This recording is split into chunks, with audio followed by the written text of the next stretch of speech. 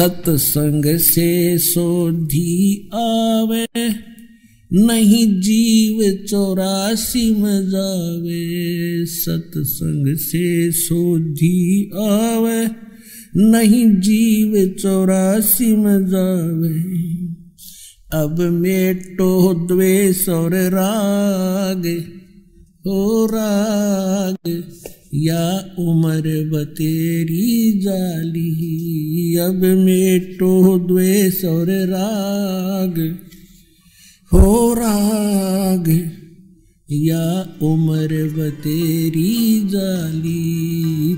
परम पिता, परमात्मा, पूर्ण ब्रह्म सर्व सृष्टि रचन और कबीर परमेश्वर जी की असीम कृपा से उनकी प्यारी आत्माओं को ये सत संदेश सुनने को मिल रहा है। पुण्यात्माओं आप बहुत ही पुनकर्मी प्राणी हो, जो परमात्मा की शरण में पहुँच रहे हो।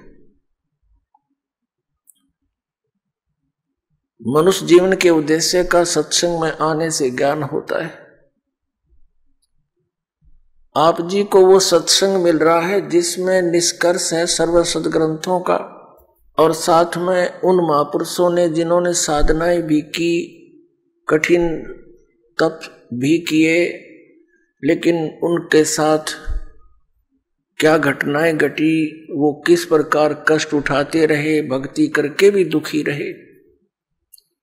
और साथ में फिर ये भी आपको बताया जाता है कि कौन सी साधना से आपके ये कष्ट मिट सकते केवल ये नहीं कि हम किसी के ऊपर घटी हुई उन घटनाओं को ही या उनके दुखों को या उनकी गलत साधनाओं को ही दिखाते हैं, या उनका कोई हम, कोई छवि धूमिल नहीं करना चाहते, हम उस यथार्थ ज्ञान पर जमी हुई धूल को हटाना चाहते हैं। जो युगों से जमी हुई है, किसी भी धर्म के, किसी भी सदग्रंथ को आप उठाकर देखिए वो कुछ वर्णन कर रहे हैं और उन के पढ़ने वाले उस धर्म के धर्म गुरु वो अन्य ही व्याख्या कर रहे हैं। शास्त्रों के विपरीत ज्ञान हमारे अंदर फ़ीड कर रहे हैं। पुण्यात्मा, कहने का भाव यह है कि जैसे आप जैन धर्म के इतिहास से परिचित हुए कि वो महापुरुष परमात्मा पाने का कितना प्रयत्न करते रहे और उनको क्या मिला? यही चौरासी लाख के धक्के।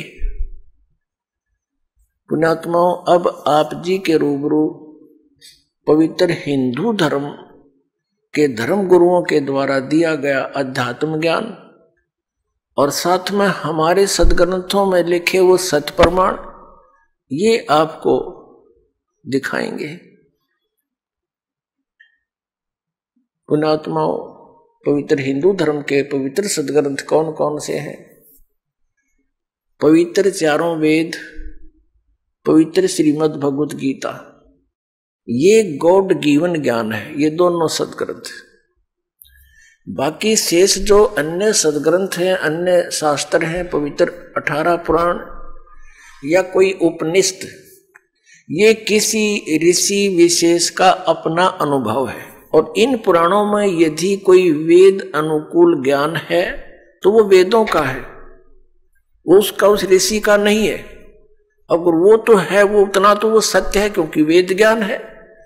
और वेद ज्ञान गॉड गिवन है, परमात्मा दत्त है, और अन्य जो वेदों और गीता से ज्ञान नहीं मिलता, वो पुराण के वक्ता का, उसके घर का है।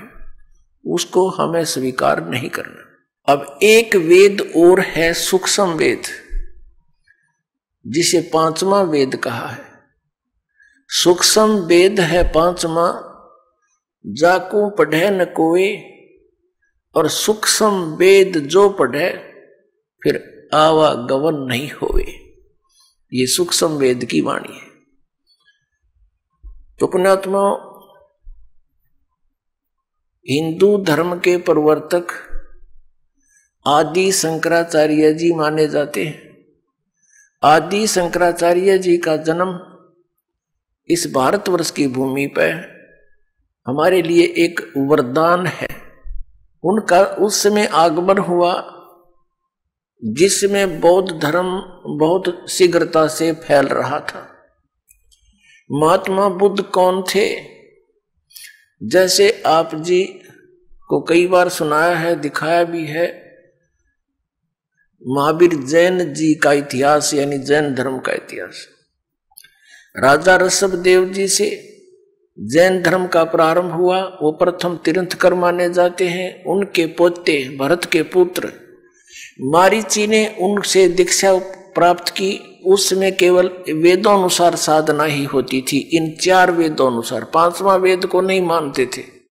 जो परमात्मा स्वयं आकर दान करते हैं, देते हैं, अपने मुख कमल से बोलते हैं, वो ऋषि, महर्षि जो नकली है, वो यथार्थता से परिचित नहीं होते, वो परमात्मा के उस ज्ञान को हम तक नहीं आने दे रहे थे। अब दाव लगा अपना इस सूक्ष्म वेद को सुनने का।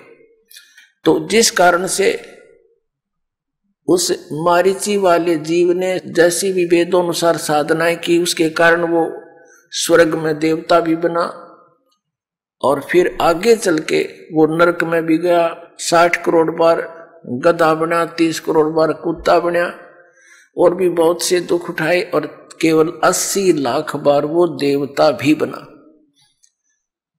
और फिर क्या बना? महावीर जैन बना और महावीर जैन ने फिर तीन सौ तिरसठ पाखंड मत चलाए। वर्तमान का जो पूरा जैन समाज है महावीर जैन जी द्वारा चलाएगी बकवाद साधनाओं को कर रहा है। उनकी के दुर्गति होगी? दास ये आगाह करना चाहता है कि आप इन साधनाओं को त्यागो और आप शिक्षित हो, अपने धर्म ग्रंथों को पुनः देख लो।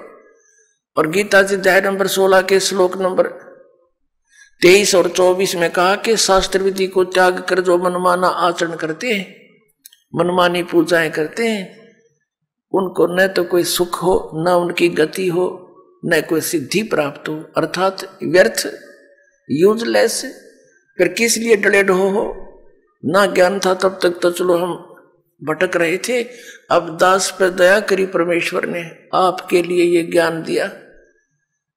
और दास आपके लिए ही संग्रहशील है। और ये अज्ञानी गुरु, धर्मगुरु दास के पीछे पड़े हुए हैं। लेकिन अब इनकी दाल गला को नहीं, क्योंकि परमात्मा ने अपने बच्चों को पहले शिक्षा दे दी। और अब देखना डूडा पाटेगा, पूरे विश्व में जाएगा यह सच्चा ज्ञान और बहुत शीघ्रता से जाएगा। क्योंकि हमें भगवान की आवश्यकता है। यहाँ के संसारिक सुख सबको पता है, दो मिनट का भरोसा नहीं, कब मृत्यु हो जा। यहीं डले ढो ढोकर यहीं छोड़कर चले गए, सारा जीवन नष्ट कर दिया हमने।